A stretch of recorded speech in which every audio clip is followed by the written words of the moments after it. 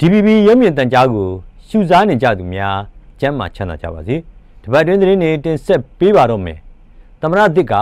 တမတော်ကာကွယ်ဦးစီးချုပ်နဲ့ညှိနှိုင်းပြီးပြည်တွင်းငြိမ်းချမ်းရေးကိုဦးစားပေးလှုပ်ဆောင်ဖို့တိုင်းရင်းသားကိုယ်စားလှယ်တွေမျှော်လင့်နေကြပါတယ်။အောင်ဆန်းဦးအခုသတင်းပတ်အတွင်းပေးပို့ထားခဲ့တဲ့သတင်းပါခင်ဗျာ။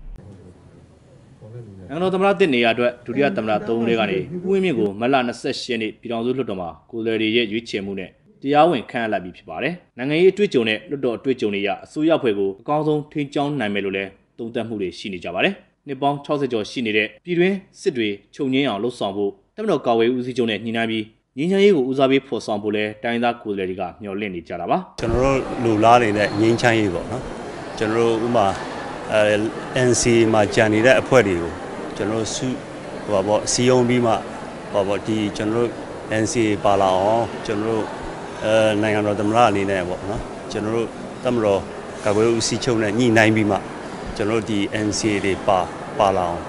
ကျွန်တော်တို့ကတော့မျှော်လင့်တာပေါ့ဝင်းပြအနေနဲ့ပေါ့နော်ဒီနိုင်ငံတော်အကျိုးစီးပွားအတွက်တိုင်းရင်းသားတွေအတွက်နော်အဒီတို့လိုချင်တဲ့ Federal Democracy စနစ်ကိုလက်တွေ့ပြီးအကောင့်ထိဖော်နိုင်ပါစေလို့ပဲအဒီတို့ဆန္ဒပြုပါတယ်သမ္မတတစ်ဦးဝင်းမြင့်ဟာနှုတ်ထွက်သွားတဲ့နိုင်ငံတော်သမ္မတဦးထင်ကျော်လိုနိုင်ငံတော်ရဲ့အတိုင်ပင်ခံပုဂ္ဂိုလ်ဒေါအောင်ဆန်းစုကြည်ရဲ့ဥဆောင်မှုအောက်မှာအေဂျင့်တင်ကြီးစွာနေထိုင်မဲ့သူမျိုးမဟုတ်ပဲ နိုင်ငံရေးသမားပြည်ပြည်မိမိယုံကြည်ရာလမ်းသစ်ဖောက်မဲ့သမ္မတအဖြစ်ကိုယ်စားလှယ်တွေကလည်းမြင်တွေ့လိုနေတာပါအဓိကတော့ဒေါအောင်ဆန်းစုကြည်ရဲ့လမ်းညွှန်မှုအောက်ပါအရင်ကသမ္မတဦးထင်ကျော်ကတော့ဟိုဒီဒေါအောင်ဆန်းစုကြည်ရဲ့ရည်စည်းရောက်မှာအလိုက်တင်မျောပါသွားတယ်နော်ဟုတ်ဒီဦးဝင်းမြင့်ကြတော့ကျွန်တော်ကအလိုက်တင်မျောတော့မျောပါဒါပေမဲ့ကိုလိုချင်တဲ့လမ်းကြောင်းတစ်ခုကိုရောက်အောင်တော့သူကနည်းနည်းလုပ်ပေးနိုင်နေတယ်ပုံမှန်ရည်စည်းတိုင်းမဟုတ်ပေါ့ပဲနေပေါ့နော်သူလိုချင်တဲ့ရည်စည်းကြောင်းကိုရောက်အောင်လုပ်ပေးနိုင်တယ် တော့အများကြီးမျှော်လင့်တယ်သမ္မတရွေးချယ်ပွဲမှာပြည်ထောင်စုလွှတ်တော်ကိုယ်စားလှယ်636ယောက်ကမဲပေးရွေးချယ်ခဲ့တာလည်းဖြစ်ပါတယ်ကျွန်တော်ကတော့အောင်ဆန်းဦးပါအနာဂတ်နိုင်ငံရေးမှာနိုင်ငံရေးပါတီတွေတက်မတော်နဲ့ပြည်သူတွေကိုတသားတည်းဖြစ်စေခြင်းတယ်လို့အမျိုးသားဒီမိုကရေစီအဖွဲ့ချုပ်တာဝန်ရှိသူတွေကဖက်စစ်တော်လှန်ရေးနေ့မှာပြောလိုက်ပါတယ်ဇေယျချမ်းအေးပေးပို့ထားခဲ့ပါတယ်ခင်ဗျာ နိုင်ငံတော်ကတက်မတော်နေ့အဖြစ်သတ်မှတ်ထားတဲ့မတ်လ29ရက်နေ့ကိုမြို့သားဒီမိုကရေစီအဖွဲ့ချုပ်ကဖက်စစ်တော်လှန်ရေးနေ့အဖြစ်သတ်မှတ်ပြီးရန်ကုန်မြို့အဖွဲ့ချုပ်ရုံးမှာအခမ်းအနားကျင်းပခဲ့တာပါအဖွဲ့ချုပ်ဘိုးအလုံးမှုဆောင်အဖွဲ့ဝင်ဦးဟန်တာမြင့်ကအဖွဲ့ချုပ်အနေနဲ့မြို့သားရင်ကြားစစ်ရေးမူဝါဒကိုအစဉ်အမြဲဆွဲကင်ထားပြီးနိုင်ငံရေးပါတီတွေတက်မတော်နဲ့ပြည်သူတွေကိုတသားတည်းဖြစ်စေချင်တယ်လို့ပြောဆိုပါတယ်ကျွန်တော်တို့ကလုံခြုံအေးချမ်းတာယာဝပြောတဲ့နိုင်ငံတော်ကိုတည်ဆောက် လာခြင်းနဲ့လို့ဆိုရင်နိုင်ငံရေးပါတီများနဲ့တမတော်တို့ဟာပြည်သူလူထုနဲ့ပူးပေါင်းဆောင်ရွက်ကြမှာအောင်မြင်မှာဖြစ်ပါတယ်။ဒါကြောင့်လည်းပဲကျွန်တော်တို့မြို့သားပြည်သူဖွဲ့ချုပ်ကမြို့သားရင်ကြားစီဆိုတဲ့မူဝါဒကိုအစဉ်အမြဲစွဲကင်ပြီးတော့ကြိုးပမ်းဆောင်ရွက်နေတာဖြစ်ပါတယ်။အဲ့တော့ကျွန်တော်တို့ဒီလိုကျွမ်းမဆောင်ရွက်နေတာဟာနိုင်ငံရေးပါတီတွေ တက်မတော်နဲ့ပြည်သူတို့ကိုတသားတည်းဖြစ်စေခြင်းနဲ့ဆန္ဒကြောင့်ဒီလမ်းတွေကိုကျွန်တော်လုပ်နေတာပါမြို့သားဒီမိုကရေစီအဖွဲ့ချုပ်အနေနဲ့ပြည်သူလူထုရဲ့အကျိုးစီးပွားအတွက်ဘယ်သူမှမဆိုပူးပေါင်းသွားဖို့အသင့်ရှိနေသလိုပြည်သူအကျိုးစီးပွားထိခိုက်နေတာအောင်ဆောင်ရွက်မယ်ဆိုရင်ပါတီဝင်တွေအပါအဝင်ဘယ်သူမှမဆိုလက်တွဲဖြစ်ဖို့ဝန်မလေးဘူးလို့ပါတီဘိုးအလုံးမှုဆောင်အဖွဲ့ဝင်တူကပြောပါတယ်ပြည်သူရဲ့ဆန္ဒကိုဖော်ဆောင်ရမယ်နိုင်ငံရေးပါတီများပြည်သူရဲ့ရင်ရပေါက်ဖွားပြီးပြည်သူကိုလုံခြုံမှုပေးရမယ် တတ်မတော်များအဲ့ဒါဟာကျွန်တော်တို့ပေါင်းစည်းမှုလိုပြီဒီလိုနေ့တစ်နေ့ရဲ့အမည်နာမမှာတော့ကျွန်တော်တို့သဘောထားကွဲလွဲနေရင်ကျွန်တော်တို့ရှေ့ဆက်ပြီးနိုင်ငံကိုဘယ်လိုလုပ်ကြမလဲဒီပြဿနာကိုဒီအတိုင်းပဲထားမလားကျွန်တော်တို့တို့အင်မတန်ရအောင်ရခဲ့တဲ့ခေါင်းဆောင်ဒေါအောင်ဆန်းစုကြည်ရနေခိုင်းမှာဒီပြဿနာကိုအပီးအပိုင်ဖြည့်ရှင်းပြီးတော့နောက်လာနောက်သားတွေကိုပုံမကောင်းမွန်တဲ့အနာဂတ်တစ်ခုပေးမလား ဒီနေ့ဟာတွေးရင်တွေးရင်အင်မတန်လေးနက်တဲ့အဓိပ္ပာယ်ရှိပါတယ်အဖွဲ့ချုပ်ကကျင်းပတဲ့ဖက်စစ်တော်လိုင်းနေ့ဟာတက်မတော်ကိုဂုဏ်ပြုတဲ့အနေနဲ့ကျင်းပတာဖြစ်ပြီးတက်မတော်နေ့လို့အမည်ပေးမကျင်းပခဲ့ပေမဲ့အနှစ်သာရကတော့အတူတူပဲဖြစ်တယ်လို့အဖွဲ့ချုပ်တာဝန်ရှိသူတွေကပြောပါတယ်အခမ်းအနားကိုရန်ကုန်တိုင်းဒေသကြီးဝန်ကြီးချုပ်ရန်ကုန်တိုင်းဒေသကြီးလွှတ်တော်ဥက္ကဋ္ဌနိုင်ငံတကာတန်ယုံတွေကတာဝန်ရှိသူတွေနဲ့ပါတီဝင်တွေတက်ရောက်ခဲ့ကြပါတယ်ကျွန်တော်ကစီယာချန်ကြီးပါပကံရှိဟောင်းနေမြေမှာတီဆောက်နေတဲ့ လူလုတ်ကုန်းကွန်ကရစ်လမ်းနဲ့ဖျားစီတီတွေမှာတံပန်းတက်ဆင်နေတာတွေဟာ UNESCO ဝင်ခွင့်ကိုအကြီးအကျယ်ထိခိုက်စေတယ်လို့ပကံဒေသခံတွေကပြောဆိုလိုက်ပါတယ်ထွန်းထွန်းသိန်းပေးပို့ထားခဲ့ပါတယ်ခင်ဗျာပကံဒေတာမှာဖျားစီရီတော်တွေကိုတက်ရောက်ခွင့်ပိတ်ပင်ထားပြီးလူလို့ကုန်းလို့ခေါ်တဲ့ရှုကင်းကြီးတောင်ကုန်းတွေကိုဆက်ရနေရတွေနဲ့အကောင့်ထဲဖော်နေတာပါလက်ရှိမှာတော့မင်းနန်ဒူကန်အနီးကမြေတွေကိုတူးဆွပြီး အနီးအနားမှာလူလို့ကုန်းတူတစ်ခုပြုတ်လုပ်နေတာပစ္စည်းလူနေပါဖြစ်နေပါပြီ UNESCO ဝင်ခွင့်ရဖို့စ조사နေချိန်မှာတစ်ဖက်ကလည်းဒီအပြုတ်မှုတွေဟာပကံဒေတာကိုအကြီးအကျယ်ထိခိုက်စေတယ်လို့ဒေတာကန်တွေကပြောပါတယ်တင်ပြီးကမှဖះတွေရဲ့နိုင်ငံကိုဖျက်ဆီးပြီးတော့ဟာကျွန်တော်တို့ကြီးပေါင်တွေခွေးပြီးတော့ဟာထဲ့ပြီးတော့ဟာတောက်ခတ်ပလိုက်တယ်နောက်တစ်ချက်ဘာမဟုတ်တဲ့ဘယ်ကပတ်စံတွေရမှန်းမသိတဲ့ပတ်စံတွေနဲ့ကုန်းကြီးတွေလုတ်ပလိုက်တယ် ဆန်းဆက်ကုန်းဆိုဒါဘာကြောင့်လုတ်တာတော့ဒီရှီအောင်အမွေအနှစ်တွေရဲ့ကြားထဲမှာဒီကုန်းကြီးကလူလုတ်ကုန်းကြီးနော်ဘယ်သူကလုတ်တာတော့ UNESCO ကလုတ် UNESCO ဟိုမဝင်အောင်လို့ရှေးအောင်လုတ်တာလားထွေအုပ်တို့ခရင်အုပ်တို့ကလုတ်တာလားစဉ်းစားတာကြည့်ပြီးတော့ကျွန်တော်မသိဘူး DBB ကနေ Master 24ရက်နေ့ကွင်းစင်လေ့လာရမှာတော့စိုးမင်းကြီးကျောင်းလို့ခေါ်တဲ့အထက်နှိမ်အုပ်ကျောင်းတွေမှာလည်းစုကတ်တွေနဲ့တက်ရောက်ခွင့်ကိုတားမြစ်ထားသလို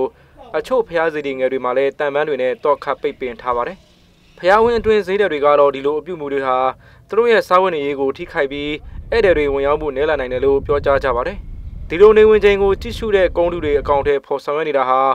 မန္တလေးတိုင်းအစိုးရရဲ့ဥဆောင်မှုနဲ့ဗကန်စီမံခန့်ခွဲရေးကော်မတီကတာဆောင်ရွက်ခြင်းဖြစ်ပါတယ်။ရှေးအောင်သူတရနာဦးစထနာကတော့ဖျားစီတွေရဲ့ကြန့်ခိုင်မှုကိုကာကွယ်တဲ့အနေနဲ့တက်ရောက်ခွင့်ပိတ်ပင်ထားတယ်လို့ဗကန်မျိုးရှေးအောင်သူတရနာဦးစထနာက DPP ကိုဖုန်းနဲ့ဖြေကြပါတယ်ရှေးအောင်ကုန်းတွေကတော့ကျွန်တော်တို့ဒါကတော့ဒီ စီမံခန့်ခွဲမှုအဖွဲ့အစည်းအဝေးဆုံးဖြတ်ချက်နဲ့ဆောင်ရွက်နေတာပေါ့နော်ဒါပေမဲ့တာဝန်ယူလုပ်ရတဲ့ဌာနတော့ကျွန်တော်တို့ဌာနအနေနဲ့တော့တာဝန်ယူလုပ်ရတာမရှိပါဘူးဖျားပေါ်တက်ခွင့်ဟိုအကုန်လုံးပိတ်လိုက်ပြီလားဖျားဒီအကုန်လုံးကဟုတ်ကဲ့အကုန်လုံးပိတ်ထားတာပါဗျဟောဟုတ်ကဲ့လောလောဆယ်တော့လောလောလောလောဆယ်တော့ခွင့်ပြုထားတာမရှိသေးပါဘူးမန္တလေးတိုင်းဒေသကြီးပကံလွတ်တော်ကိုယ်စားလှယ်ကတော့ဒေါ်ဆန်းစုကြည်ရဲ့လမ်းညွှန်ချက်နဲ့လူတို့ကုန်းသူတွေအကောင့်ထဲပေါ်နေတာဖြစ်ပြီး UNESCO ဝင်ရောက်ရေးအတွက်လည်းကျွမ်းကျင်သူတွေနဲ့တိုင်ပင်ထားတယ်လို့ပြောဆိုပါတယ် တိုင်ပင်ခံပုဂ္ဂိုလ်ကလည်းဒီဖျားတွေကိုတက်ပြီးတော့ကျွန်တော်တို့စမ်းဆက်ကြည့်တယ်ပေါ့နော်ဖြူးကြည့်ရရဒါတွေကအကာရတရားဖြစ်တယ်ပေါ့နော်ပြည်တော်စုဝင်ကြီးလည်းပြောသွားပါတယ်အဲ့တော့ကျွန်တော်တို့အနေနဲ့ဒီဖျားတွေပေါ်မှာပြည်သူတွေတက်ကြည့်ဖို့ဟလာဖြစ်နိုင်မှုဆိုရင်ဒါဖြူးမောင်တွေကိုကျွန်တော်တို့ဒါကိုဟလာအားလုံးသဘောတူကြချက်နဲ့ဖြူးမောင်တွေဒါပေါ်ထုတ်တာပါဖျားတွေရဲ့ကြက်ခိုင်မှုအားလည်းနှစ်ပေါင်းတစ်ထောင်ကျော်ပြီဆိုတော့ဟလာကြက်ခိုင်မှုအားအနေနဲ့လည်းရော့နေပါပြီပေါ့နော်နောက်ပြီးတော့လည်းအကာရတရားပေါ့နော်ခုနပြောတာ အဲဒါတွေကြောင့်ကျွန်တော်တို့ကဒီဖြူးမောင်တွေကမဖြစ်မနေကျွန်တော်တို့လုပ်ပြရတယ်ဆိုရှင်းအောင်သူတည်နာပညာအသင်းကလည်းပကံဒေသမှာပြုလုပ်နေတဲ့လူတို့ကုန်းတူတွေတိဆောက်ရမှာမြေတဲခြင်းမြေဖို့ခြင်းလုပ်ငန်းတွေအတွက်မောင်းနှင်အသုံးပြုတဲ့ဆေးရနေရတွေအသုံးပြုခြင်းတွေကြောင့်ရရှိလာတဲ့တုံခါမှုတွေဟာနှစ်ပေါင်းထောင်ချီပြီးရှေ့အောင်အဆောက်အုံတွေရဲ့ရေရှည်တည်တံ့ရေးကိုကြီးမားတဲ့စင်ခေါ်မှုတစ်ခုဖြစ်နေတယ်လို့ပြီးခဲ့တဲ့ရက်ပိုင်းကကြေညာချက်ထုတ်ပြန်ထားပါတယ်။ဗကန်ဒေတာဟာ2016ခုနှစ်ကငလင်လောက်ခတ်ခဲ့ပြီးဖျားစီ300ကျော်ထိခိုက်ပျက်စီးခဲ့တာပါ။ ဗကန်ဒေတာဟာလက်ရှိအချိန်မှာ UNESCO ရဲ့ကမ္ဘာအမွေအနှစ်စည်ရင်းဝင်အဖြစ်ဝင်ရောက်ဖို့စာတမ်းပေးပို့ထားပြီးမကြာခင်လပိုင်းမှာလည်း UNESCO တာဝန်ရှိသူတွေလာရောက်စစ်ဆေးကြမှာပါ။ငရင်တန်တဲ့နဲ့ဖျားစီအဆောက်အုံတွေပြုပြင်ရေးအတွက်အလူငွေတွေများစွာရရှိထားပြီးတော့လူလုတ်ကုန်းတဲ့ကွန်ကရစ်လမ်းခင်းမှုတွေမှာတော်လဲသုံးဆွဲမှုဖြစ်နေတယ်လို့လည်းဒေသခံတွေက DPP ကိုပြောကြပါတယ်ကျွန်တော်ထွန်းထွန်းသိမ်းပါသမရတစ်အနေနဲ့အတွေ့အကြုံတွေရနိုင်ငံတော်အတိုင်ပင်ခံကိုအထောက်အကူပြုနိုင်လိမ့်မယ်လို့လွှတ်တော်ကိုယ်စားလှယ်တွေက ပြောဆိုလိုက်ပါတယ်အခုသတင်းပတ်အတွင်းနေဖြိုးဝင်းပြပို့ထားခဲ့တဲ့သတင်းပါခင်ဗျာနိုင်ငံတော်သမ္မတတစ်ဖြစ်လာတဲ့ဦးဝင်းမြင့်ဟာဥပဒေပြုရေးလုပ်ခဲ့တဲ့သူတစ်ယောက်ဖြစ်ပြီးသူ့ရဲ့အတွေ့အကြုံတွေနဲ့အတတ်ပညာတွေကနိုင်ငံတော်အတိုင်ပင်ခံပုဂ္ဂိုလ်ကိုအထောက်အကူပြုလိမ့်မယ်လို့တိုင်းရင်းသားကိုယ်စားလှယ်တဦးကဆိုပါတယ်ထောက်ကူကပေးနိုင်တယ်ဆိုတော့ပေးနိုင်တဲ့အထောက်ကူဆိုတာသူတွေ့ကြရတဲ့ဒီအတွေ့အကြုံနဲ့သူတတ်တဲ့ပညာနဲ့သူ့ကိုပတ်ဝန်းကျင်မှာရှိတဲ့အခင်းအခင်းကျင်းတဲ့ အဲဒီတနင်္ဂနွေလုံးမှာရှိတဲ့အတိုင်းတစ်ပေါ့ထားရှိတဲ့စီအဲလုံနိုင်တဲ့ပုံမှန်ဖြစ်ပြီးတော့ဒီနိုင်ငံတော်အတိုင်ပင်ခံဒီမှာထောက်ကူပြုနိုင်တယ်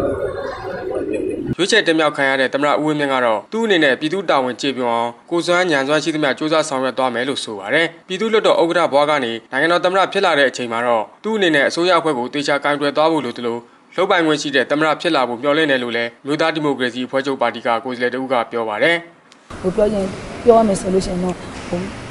ပြစ်ရှိလာတယ်ဆိုရင်ချက်ချင်းရေးယူတာမျိုးတွေချက်ချင်းဆောင်ရွက်တာမျိုးတွေဟိုမတိုးတက်တဲ့ဌာနတွေကိုပြောင်းလဲတွေလုပ်ပြတာမျိုးတွေပေါ့နော်။နောက်တကယ်လုံးမလုပ်တဲ့ဝန်ထမ်းတွေကိုလည်းတေးသေးချာချာကိုက်ပြည့်စေချင်တာပေါ့အဲ့ဒါ။နောက်တစ်ခုကကြတော့လေသူ့ရဲ့လုပ်ပိုင်ခွင့်သူ့ရဲ့အာဏာနဲ့သူ့ရဲ့ဆောင်ရွက်နိုင်တဲ့အခွင့်အရေးတွေဒီနှစ်ခုကတက်တူတက်မြကြားဘူးရအရေးကြီးပါတယ်။ဒါဆိုရင်တော့ကျွန်တော်တို့အမြန်ပေါ့နော်ဒါမျိုးစံမှန်တွေ့တယ်ပေါ့နော်။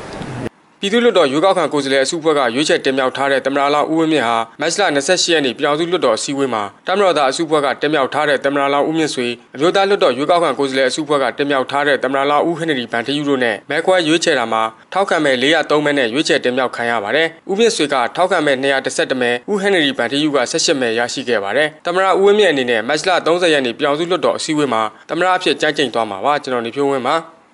ရောင်းချရတဲ့ရက်နှဲပါတာကြောင့် တကြံတချင်းတွေထုတ်လုပ်မှုနှဲပါလာတယ်လို့ထုတ်လုပ်သူတွေကပြောဆိုလိုက်ပါတယ်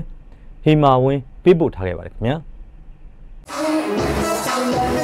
တကြံကာလာရောက်ဖို့နီးကပ်လာပေမဲ့လည်းတကြံတချင်းထွက်ရှိမှုနည်းပါလာတာကြောင့်အရင်ကထွက်ရှိတဲ့တချင်းအဟောင်းတွေကိုသာရောင်းချနေရပါတယ်။တကြံတချင်းတွေထုတ်လုပ်သူတွေကတော့တချင်းတွေထုတ်လို့ရောင်းချရတဲ့ကာလာကနည်းပါပြီး စီးပွားရေးအကျိုးအမြတ်လည်းနည်းပါလာကြောင်းတကြံတချင်းတွေအစ်စ်ထွက်ရှိမှုမရှိသလောက်နည်းပါနေတာပါအခွေတွေလုတ်တဲ့လူတွေကများသောအားဖြင့်ကြံခွေလုတ်တယ်ဆိုရောင်းရောင်းရတဲ့အချိန်နဲ့ရန်နေရာဒီသာဆိုတော့ရောင်းတဲ့အချိန်နေတဲ့ကျွန်တော်တို့ကြံကြော်ဝိုင်းတဲ့ဒီခွေကမရောင်းရတော့ဆိုအဲ့ဒီအတွက်ကိုလူတွေကစီးပွားရေးအနေနဲ့ကြည့်မယ်ကြည့်တဲ့လူတွေကျတော့လုတ်မလုတ်တော့ဘူးအနုပညာကိုဝါသနာပါပြီးတော့ဖန်တီးတဲ့လူတွေကျတော့ဒီဟာအတွက်ကိုကမန်းခံပြီးဖန်တီးရပေါ့အမေရိကကူတာကြီးသူကြောင် crazy ဖြစ်တဲ့အတွက် ဖန်တီးတယ်အခုဆိုကျွန်တော်2019အတွက်ကမှရိုက်ဖို့စီစဉ်နေပြီပေါ့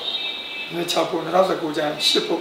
အခုတည်းကကြိုတင်ပြီးစီစဉ်ပြီးတော့အခုလာမယ့်တစ်ချမ်းမှာစရိုက်တော့။ရိုးတချင်းတွေထုတ်လုပ်ပါကအချိန်ကာလကန့်သက်ချက်မရှိဘဲမကုံမချင်းရောင်းချလို့ရပေမဲ့တကြံတချင်းကတော့တကြံမကြခင်3လအကျိုးနဲ့တကြံကာလအတွင်းသာရောင်းချရတာပါ။ဒါအပြင်အခုနောက်ပိုင်းတကြံတချင်းတွေတွေကတော့ဝါရဏအရက်အကျိုးအမြတ်မကြည့်ပဲထုတ်လုပ်သူတွေဒါရှိတော့တယ်လို့လဲဆိုပါတယ်။တကြံဆိုရကာလလည်းနေတယ် အလုံးစုံတစ်လပဲထမတစ်လနှစ်လသုံးလလေးလဆိုရင်တကြံဒီဧပြီလဆန်းရောက်တာနဲ့နည်းနည်းပဲရောက်ရတယ်ဆိုတော့အဲ့ဒီအတွက်ကြောင့်လူတွေကဟိုတကြံကိုအရင်ကလို PVC တိတ်မထုတ်ကြတော့ကျွန်တော်မိနစ်ကထုတ်ဘူးပါတယ်မိနစ်ကကဲကြမယ်လားဆိုပြီးတော့တော်တော်များအဆူတော်ကောင်းကောင်းနဲ့အများကြီးနဲ့နော်ကျွန်တော်ရေးတဲ့တကူတော့တချင်းတွေထုတ်ဘူးတယ်လှိုင်းကနေဖြန့်တာပေါ့လှိုင်းလှိုင်းလှိုင်းလှိုင်းမူပိုင်ပေါ့နော်ကျွန်တော်ရေးတဲ့တချင်းတွေအဲ့လိုပဲကျွန်တော်ခွေကြီးအောင်မြင်တယ်ဒါပေမဲ့ခုနကုံထားတဲ့ငွေကြီးကထင်တယ်လို့ပြန်မရဘူးရန်ကုန်မြို့မှာတော့လာမဲ့တကြံမှာ ဖျော်ဖြေရေးမန်းနဲ့35ခုနဲ့ဖျော်ဖြေရေးအပါအဝင်ရေကစားမန်းတဲ့60ကိုလည်းခွင့်ပြုသွားမှာဖြစ်ပါတယ်။ဒါအပြင်အခုနှစ်တကြံတချင်းခွေတွေကတော့တာကီတို့တကြံနန်းဆန်မဲ့အလွမ်းတကြံစတဲ့တကြံတချင်းခွေတွေထွက်ရှိခဲ့ပါတယ်။ကျမဟိမာဝင်းပါဟုတ်ကဲ့ပါခင်ဗျာဒီမှာဒီမဲ့ဒီပတ်တင်းသတင်းတွေရန်နားလိုက်ရပါတယ်ကျမ်းမာချမ်းသာကြပါစေကျွန်တော်မောင်တူပါ